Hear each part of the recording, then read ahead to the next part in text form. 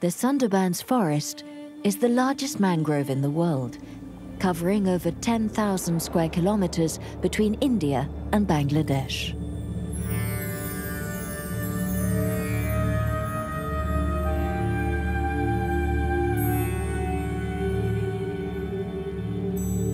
It's a flooded forest, where the fresh water of two of the planet's most powerful rivers, the Ganges and the Brahmaputra, and the salt water of the Indian Ocean come together.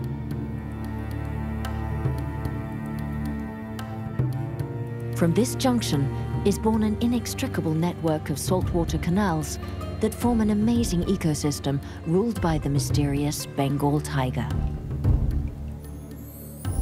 For Bengalis, Sundarbans means beautiful forest. It provides them with the best protection against increasingly violent cyclones, but especially the forest is brimming with game, fish, crustaceans, and wood used for heating and building.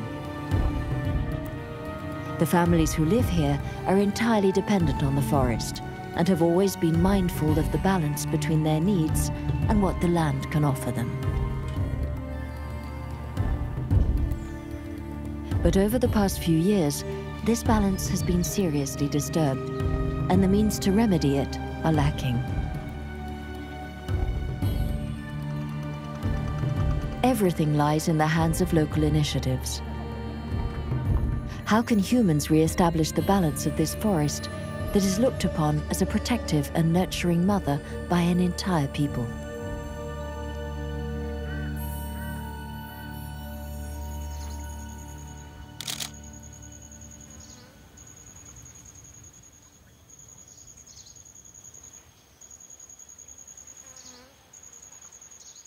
For over a decade, Sirajul Hossain has been taking pictures of the mangrove.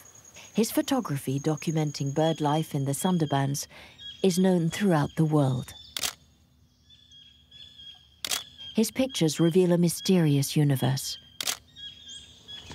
Here, over 300 varieties of bird live in an array of habitats. Dry forest, wetlands, mudflats and sandy beaches one of the Sundarbans' winged residents, has captivated Sirajul's attention in particular. If anybody comes to Sundarban, the first thing will catch their eyes are the kingfisher. They are so beautifully here. Uh, they have beautiful color and they are very agile. They are very bold and strong birds. And almost whole day they uh, stay on the branches and look at the canal, uh, catch fish. This canal is the kingfisher's territory, and the solitary creatures are on a mission to defend it against other members of their species. They dive into the river to hunt and spend so little time underwater that when they come back out, their impermeable feathers are never even wet.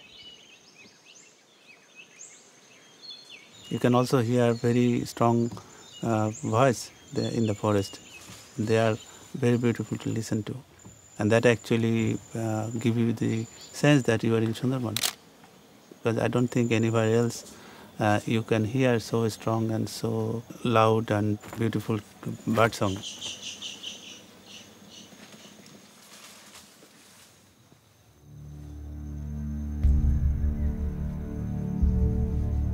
But once we venture inland, the forest harbors an entirely different kind of wildlife.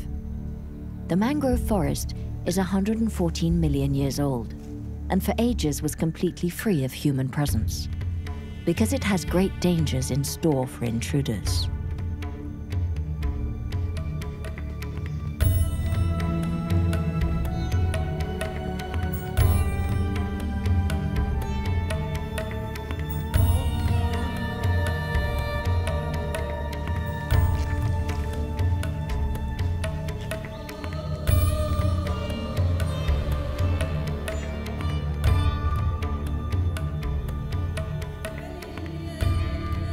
The chital, however, also known as the spotted deer, is harmless.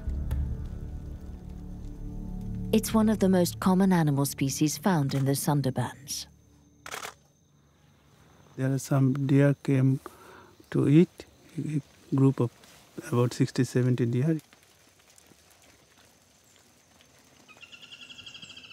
This place is full of with kevra trees. You can see around the, all those trees. The lowest leaf are in the same line like a haircut. This is because the deers actually they climb uh, on their hind leg and eat all the leaves uh, as far as they can.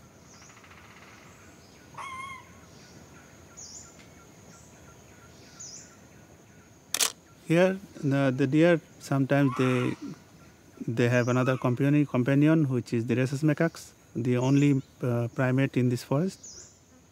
This uh, tree has a small fruit, you know, round fruit, which is very tasty to monkeys. But when they eat, they drop many of the leaves and many fruits they drop in the ground.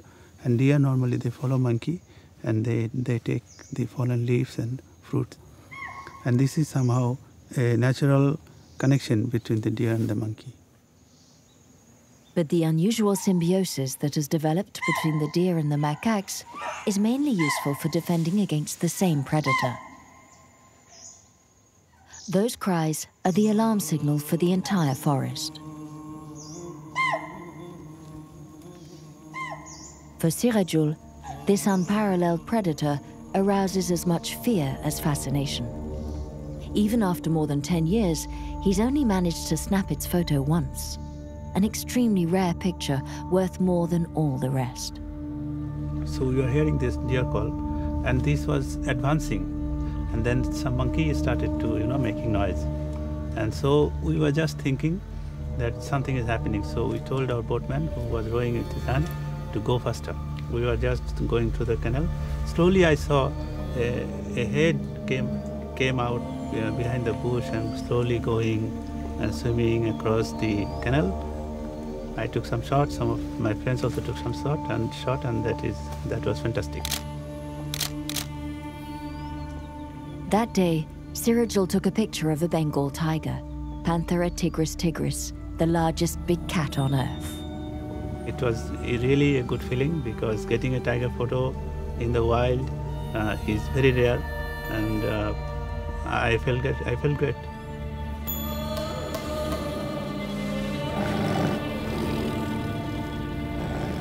The Bengal tiger is more than just the symbol of Bangladesh. It plays a major role in the equilibrium of the mangrove forest. Perched at the top of the Sundarban food chain, the tiger feeds mainly on herbivores, regulating their populations and indirectly maintaining the characteristics of the entire ecosystem. But the Bengal tiger also protects the Sundarbans from one of its greatest threats humans, who for centuries steered well clear of the creature. Monirul Khan is hot on the tiger's trail. He's a biologist and studies the creature's habits and movements to ensure its protection. Bengal tigers are in grave danger of extinction. There are only about a hundred left in the Sundarbans. Like all wildcats, tigers hunt at dawn and dusk. They're practically invisible in broad daylight.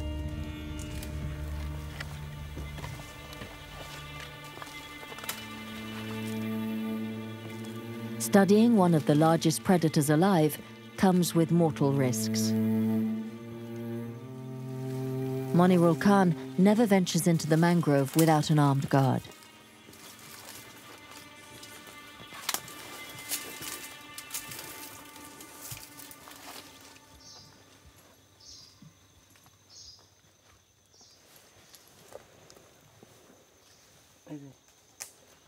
Hmm. Professor, here are some droppings. I found some fur, look. Yes, those are tiger droppings. We see deer fur. These droppings are quite old. The fur tells us what the tiger ate. In the Sundarbans, we see very few tigers. I'm looking for the path this tiger took, the different behavioral signs that show us what it did.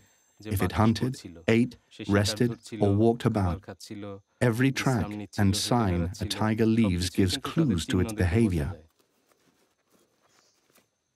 I'm noting this spot so I can locate it later on the map.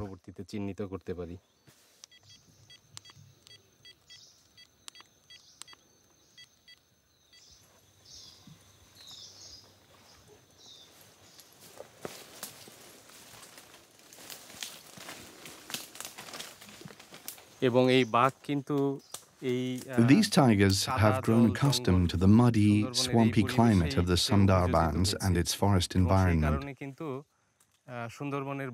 That's why they have no trouble swimming across a river that's two or three kilometers wide. Other tiger breeds can't swim that well. The Bengal tiger made this region its home 12,000 years ago and has perfectly adapted to the unique forest that grows here, half on land and half in water.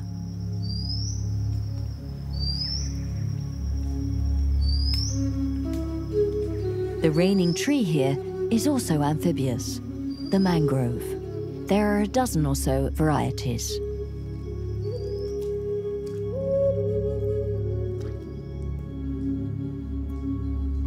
Fazul Ok is a biologist. He spent his entire career working to understand the incredible mechanism that allows the mangrove to adapt to what no other forest can stand up to tidal ebb and flow.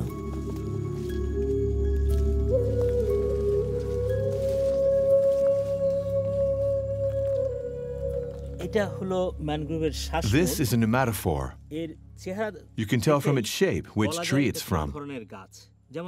This is the pneumatophore of the Sundari mangrove tree. It's flat and very hard. The upper part is pointed.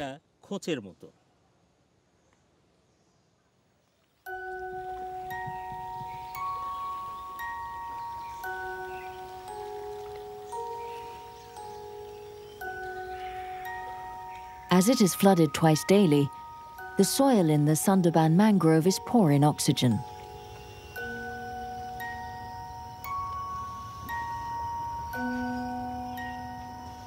Mangroves have a unique and ingenious way of breathing. Pneumatophores, a kind of breathing tube that grow upward from their roots.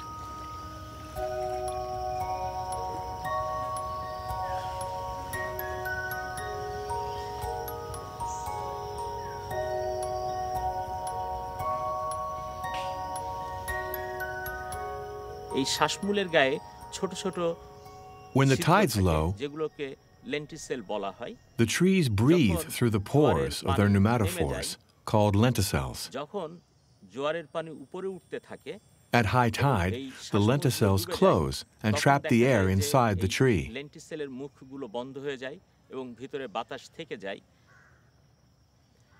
The tree uses the oxygen and releases carbon dioxide into the water.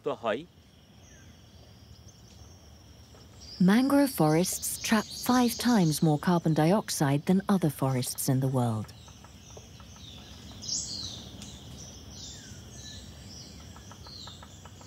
The mangrove's other amazing feat is that it's able to thrive in salt water. To cope with salinity, the mangrove filters out the salt, then absorbs the water.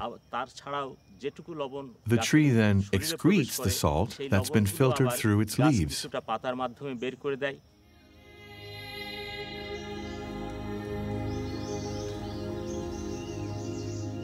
The ingenious mangrove has also managed to put the tides to good use for reproduction. Rather than run the risk of drowning or asphyxiating its seeds, they germinate directly on the tree. After getting swept by the currents at high tide, the seedlings fall and take root in the sludge at low tide. After that, everything happens fast. The tree's root system emerges in one day, and the first leaves in less than 10. In two years' time, the mangroves are already several meters tall.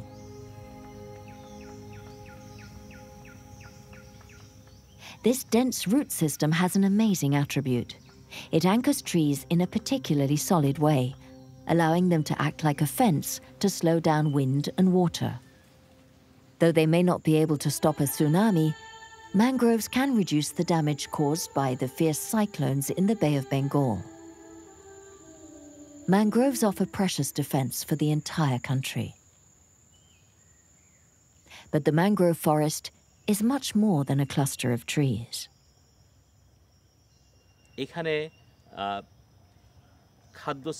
What we have here is a complex and diversified food chain. Each living creature plays an important role.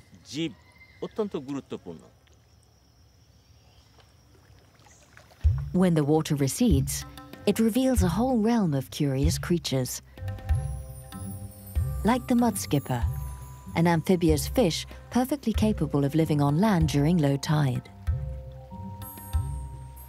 Its eyes are fully independent from one another, which not only gives it a broad field of vision, but allows it to see both under and above the water. But the true engineer of the mangrove is this guy, the crab. As an omnivore, it eats everything it can find, from mangrove leaves to dead animals. And in doing so, it recycles the ecosystem.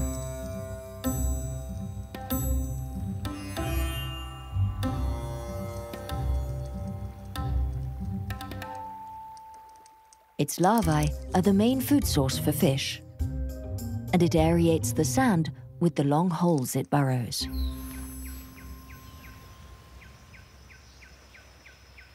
The Sundarbans mangrove is brimming with crustaceans, fish, birds, and mammals, a real horn of plenty.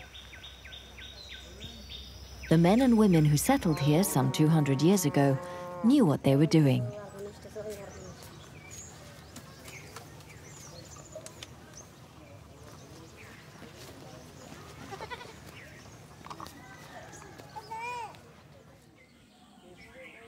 But in order to get their hands on the mangrove's treasures, they had to come to terms with its guardian, the tiger.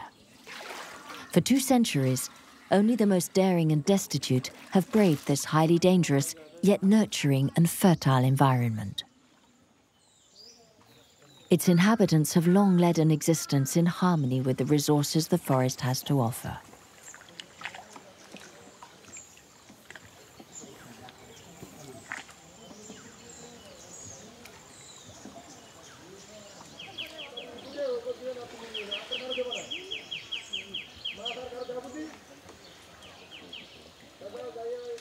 Shukumar has been fishing since he was old enough to work. He lives in a small village in the mangrove forest. He uses traditional fishing methods with a net, like his father and grandfather before him.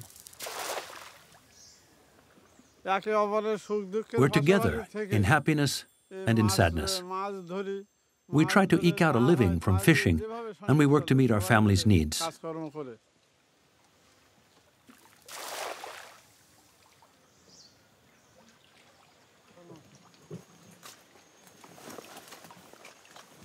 The harmonious balance Shukumar alludes to has been challenged the past few years. The numbers of fish are dwindling. The people in the heart of the forest are growing concerned. There aren't enough fish left to support a whole family.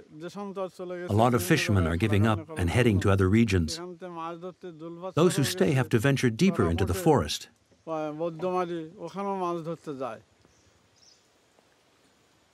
Now, an entire day's catch is barely enough to live off for two days.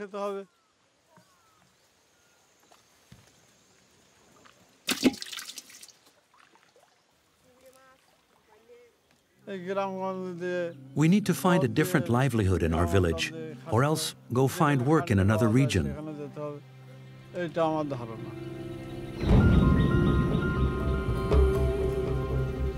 We needn't travel very far to figure out why there are so few fish. Here we are on the edge of the mangrove forest along the coast of the Bay of Bengal. During the five-month dry season, this temporary village bustles with 15,000 fishermen. The fish is dried for export. Tightly woven nets don't let anything through. Crustaceans, eggs, fry, everything is destroyed. The fish can't manage to reproduce anymore. So, with the decreasing fish supplies, the entire country has turned to an activity that has proven lucrative shrimp farming. In 20 years, Bangladesh has become the world's sixth ranking producer of shrimp. The country's second greatest economic activity after textiles. An El Dorado for families fleeing shanty towns and the instability of city work.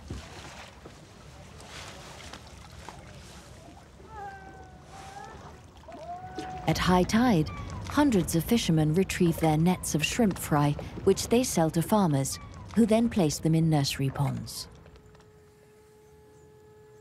But therein lies the problem. Shrimp farming is an ecological disaster. Abdul Chaudhuri is a professor of environmental science.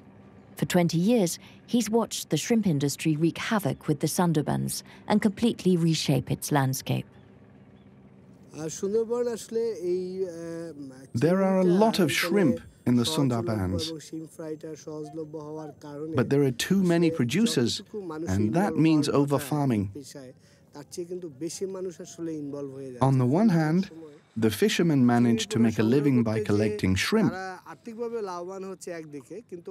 But on the other hand, they destroy other natural resources by catching the eggs and fry of fish endemic to the region.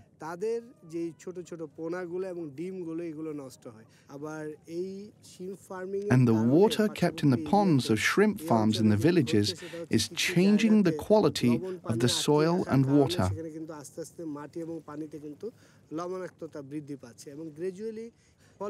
The water kills freshwater fish in favor of shrimp.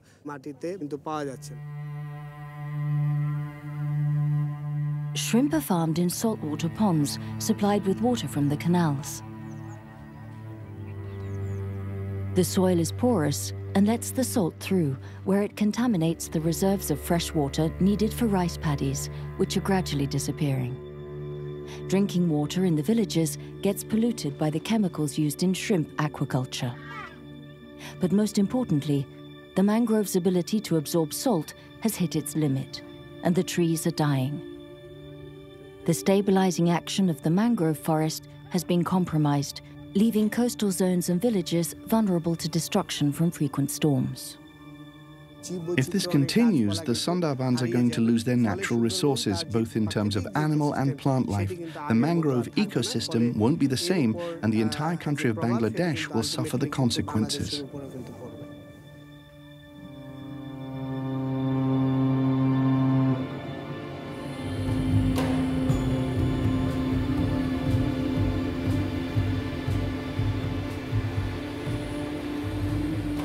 Since the shrimp rush began, one million people have depended on the mangrove forest for their survival. They represent a massive drain on the forest's resources.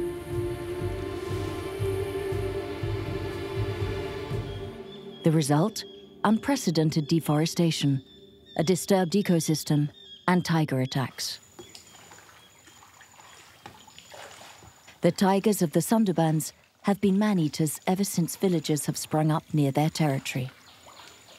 To survive, a male tiger needs a surface area of 100 square kilometers. Deer, its prey of choice, is also hunted by humans, of whom there are more and more.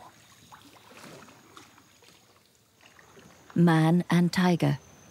The mangrove has become too small for these two big predators. And tigers which are excellent swimmers, are infamous for attacking fishing boats. Wait, I think there's a tiger print there. Go closer to that bank. To the right there? Closer. Yes, it's right there. I can't see very well, but there's something on the other side. Yeah, let's cross.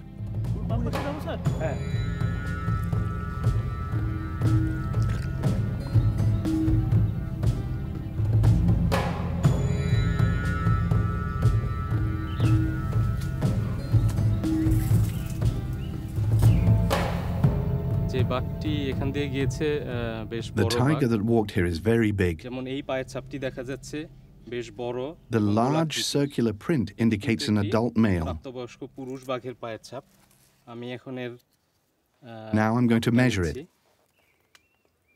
10 centimeters at the heel and in length 11.5 centimeters. An adult male weighing over 250 kilograms. We can also deduct how old the print is. The insect grooves tell us it's not recent. I'd say the tiger came by here about 24 hours ago.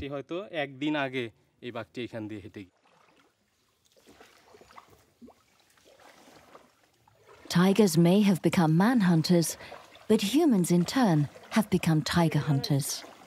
The demand for products derived from the big cats is very high in Asia. Each part of the tiger skin, teeth, bones, sells at a high price. Another threat comes from people living along the forest edge. When a tiger comes out of the forest, it gets killed.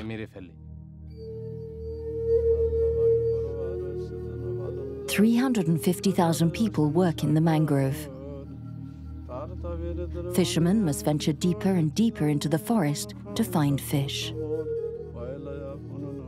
Their only security against tigers, invoking the goddess Bonbibi, protector of the Sundarbans. Two years ago, Shukumal was fishing when he found himself face to face with a tiger. The tiger pounced on me. I didn't have time to protect myself. It sank its claws into my eye and chest. I lost a huge amount of blood. Part of my head was here, on my shoulder.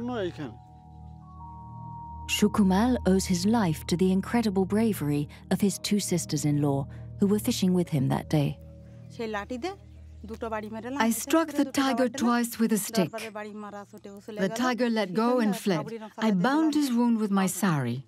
It was soaked with blood. She closed up my skull with her hand and held it in place with her sari. I couldn't abandon him. We'd gone there together and we would leave together. When we got back, the people who greeted our boat said they saved him from the fangs of a tiger, something ten men couldn't have done. They're wild animals, but they protect our forest. Tigers kill people, but I don't believe they're angry at humans. It's probably our own fault. That's why. Like the tiger, there's another emblematic creature of the mangrove forest, the crocodile. Here too, increased human impact has had devastating effects. And while there used to be three varieties of crocodile in Bangladesh, today only two remain, the saltwater crocodile and the mugger crocodile. Look on this side, right there. A few years ago, Dr. Rashid, a reptile expert, launched a study to find out why crocodiles were disappearing. Go closer to the other bank. Closer, go closer. Get a little closer. We just saw a crocodile slip into the water. It's between two and a half and three meters long. Record its position with the GPS. 1127, GPS 408. 408. It's going under. It's going under. Hurry up. It went under. Too late. It's gone. The saltwater crocodile is extremely sensitive to water quality, and variations in their number is a good indicator of the health of the mangrove forest. Crocodiles are what scientists call a sentinel species. At one time, there were a great many crocodiles in the Sundarbans.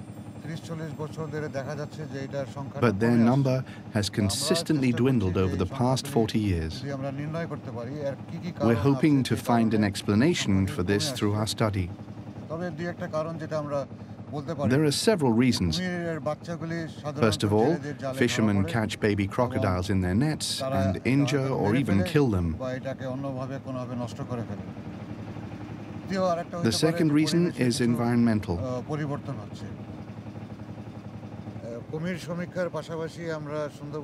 Besides taking a census of crocodiles, we record water quality, its salinity and temperature.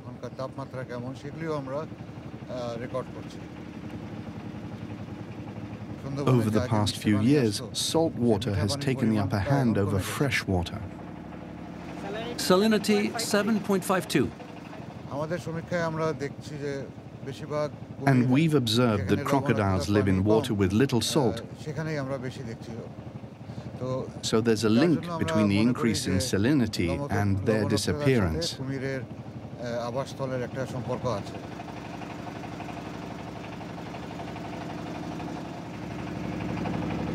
pH 8.3. The quality of the environment and climate have a direct impact on animal life in the Sundarbans.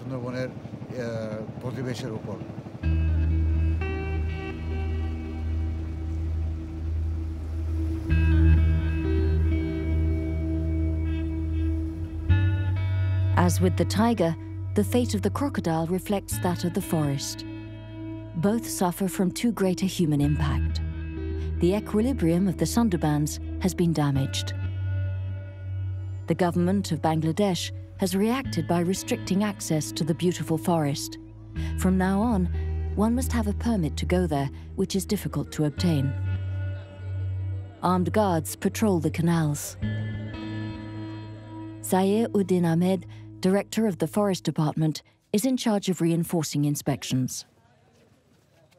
In some of the places, In some of the places, 23% in of 23% of this forest, is not allowed to fishing. there is no fishing allowed. This is kept for It the kept for the breeding ground of the fish. And beside this, Besides this, 18 another 18 canals are entirely kept for the breeding ground of the fish. Of the fish.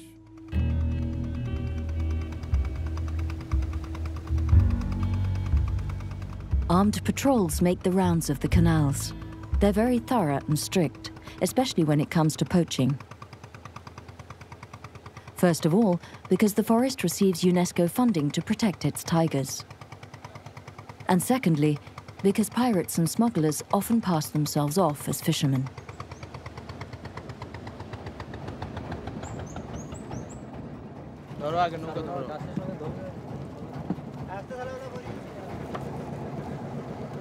What's your name? David, Are you sure? I had some trouble. Otherwise, I'd be home already. All right, here you go. The man's fishing permit is in order. His boat contains nothing suspicious beyond a meager catch of fish, barely enough to feed his family. Zaeuddin Ahmed is aware that government inspections in the mangrove are not a sustainable solution. So this is one So of this our is main one of our main challenges challenges. how How can we look into that? We cannot We prevent cannot prevent empty-bellied people empty-bellied who have nothing. cannot hurt anything. Once need come, Once the need comes, come up They obviously the come to the forest looking for what they need. That this is want of him. Keeping his child Who would believe that if a child is hungry, we if it is dying, that the parents would not come here and take the resources? But the resources there, the people would not take it. But today, the mangrove faces an even greater affliction global warming. The sea level is rising, washing even more salt into the mangrove, and storms are multiplying. On May the 25th, 2009, Cyclone Aila struck the southwestern coast of Bangladesh. The storm destroyed everything in its path. Embankments gave way, and water surged over the land. Villages, roads, livestock, rice fields, nothing withstood Aila. Nearly 4 million people were affected by the disaster. When the winds died down and the water receded, villagers were left to mourn 190 deaths.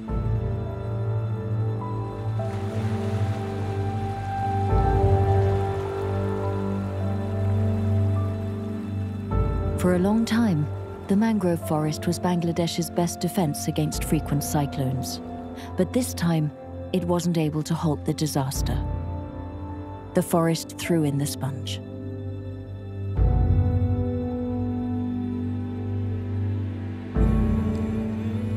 Climate change experts estimate that over a billion people will be affected by rising sea levels by the year 2060.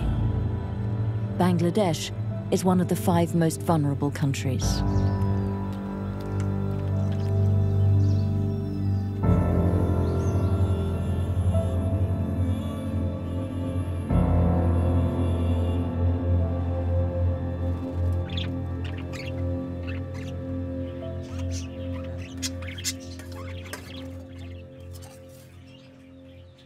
Asim lives in one of the villages destroyed by the cyclone. He nearly lost his family on that fateful day. A lot of water came rushing into the village.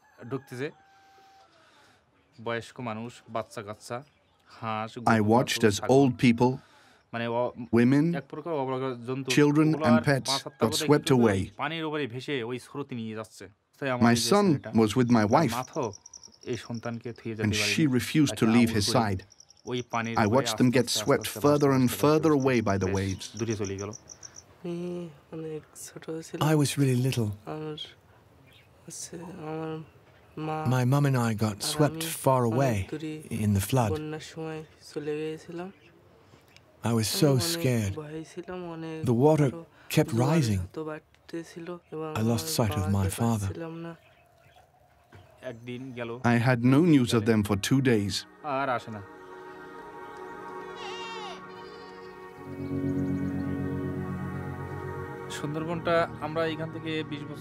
In 20 years, the Sundarbans have changed so much. Today it's a sad situation.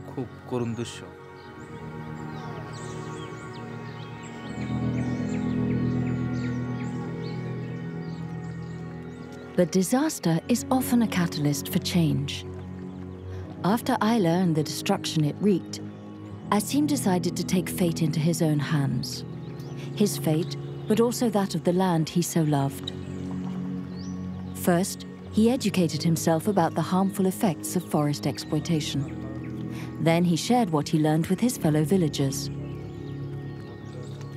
Next, he came up with an idea that would change everything planting an artificial mangrove forest to preserve the original one. And so several times a month, Asim goes from village to village organizing mangrove planting operations. His mission? To reverse the devastating downward spiral poisoning the Sundarbans. You're going to do exactly as I do. First, make a hole. The root is four inches. You have to make a three inch hole, then pack the earth around it. Does everybody understand? Take your time. Go very slowly. Treat the seedlings like you would your own children.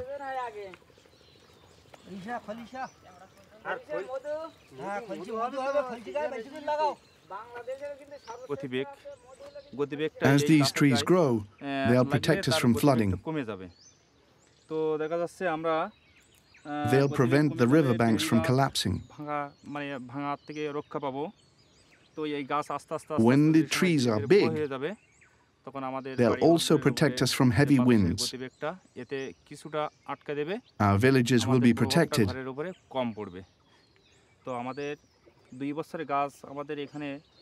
In two years, they'll grow seven meters tall.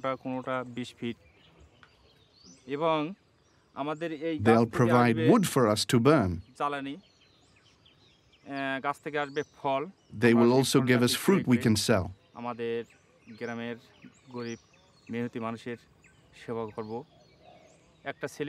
With the money we earn, we'll be able to help poor families in our village and give money to parents so they can send their children to school and marry off their daughters. Ultimately, our goal is to never have to go back to the wild Sundarbans forest so that we don't destroy it.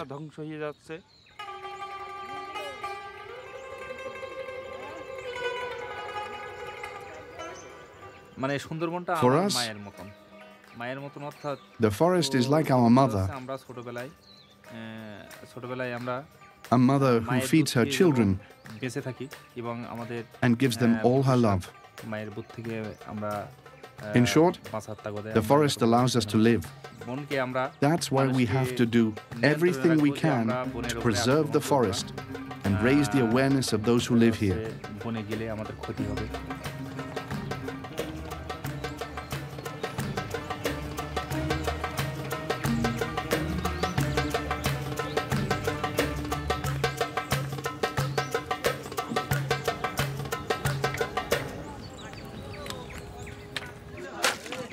Little further on in the mangrove, these men have gathered to construct embankments to protect against rising water levels.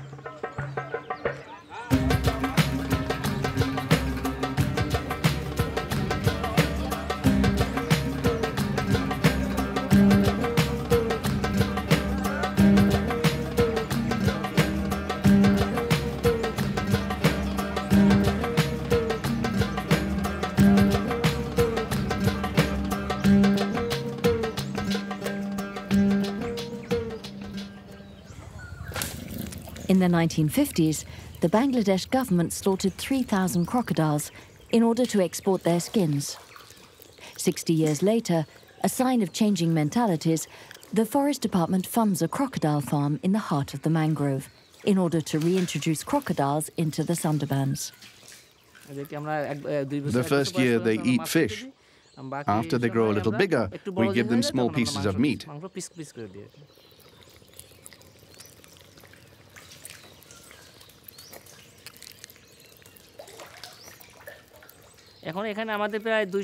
Currently, we have 262 crocodiles of different sizes and ages, newborns and two or three year olds. We also have three adult crocodiles in our center Romeo, Juliet, and Filfil. Last year, Juliet laid 51 eggs, of which 36 hatched. Filfil laid 61,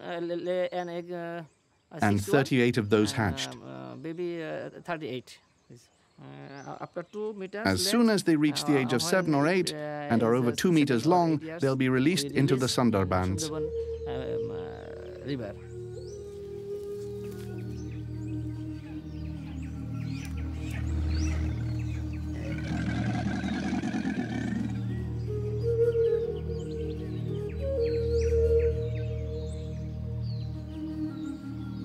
এটিকে রক্ষা করা আমাদের অত্যন্ত দরকার we have to protect crocodiles because they favor the presence of fish and guarantee the continuity of the food chain.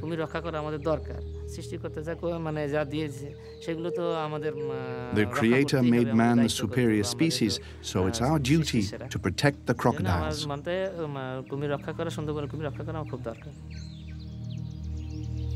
Like the tiger in the forest, the crocodile is the super predator of the mangrove swamps. It holds the role of cleanup crew, eliminating weak and sick fish, thus ensuring the health of the ecosystem. Scientists have observed that there are fewer fish in places where the crocodile has disappeared.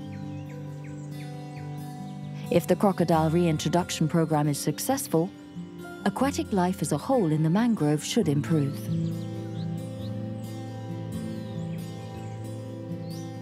The inhabitants of the Sundarbans and the government have also realized that the future of the mangrove forest comes with the education of their children. The main issue is the education. The main issue is education. We, education we think education can help us. If we do not give the local people proper education, one day a small boy will go with his father to the forest but once this small boy has education, he will tell his father, please do not go.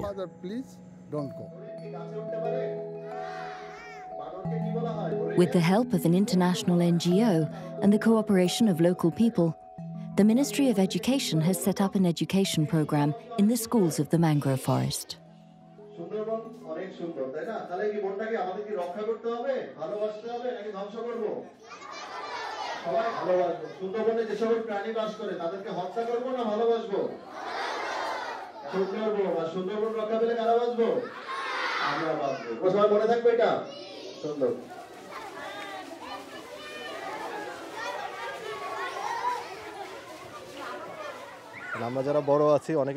We adults don't know the Sundarbans very well, and that leads to the forest destruction. But if the children learn about the forest from a very young age, when they grow up to be adults, they'll love it and make sure to protect it. We've conveyed two main messages to them the importance of the tiger and the mangrove. That's why we need to protect the forest. We also ask them to make a promise not to eat deer meat, for example, and to protect the Sundarbans.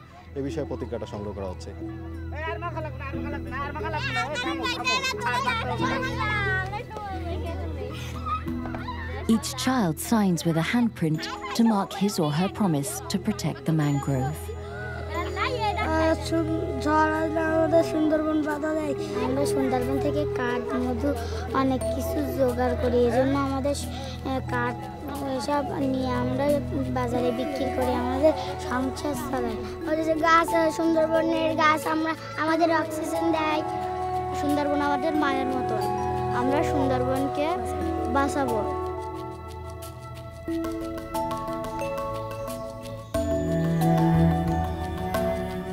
in our own ancient culture, animals were part of everyday thing. You know, animals were very much connected with the psychology and the uh, emotional and spiritual feeling.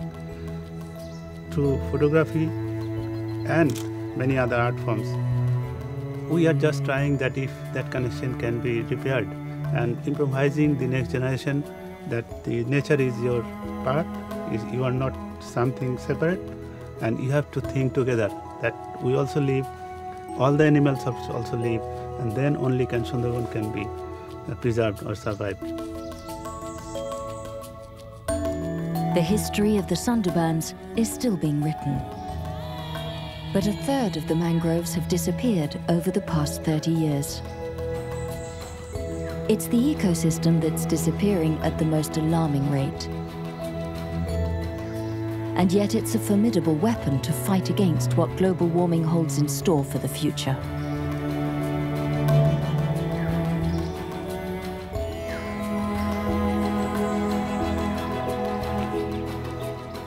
Local communities have taken the forest into their hands. Will the forest's revival come about through the children of its fishermen and hunters? Though they may not hold the official title as such, these youngsters are no doubt the best guardians of the Sundarbans.